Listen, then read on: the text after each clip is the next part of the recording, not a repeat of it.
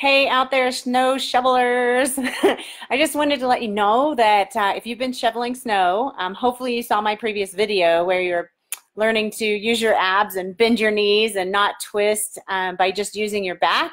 Um, but I will have many people tell me they need an adjustment because they hurt their back shoveling snow.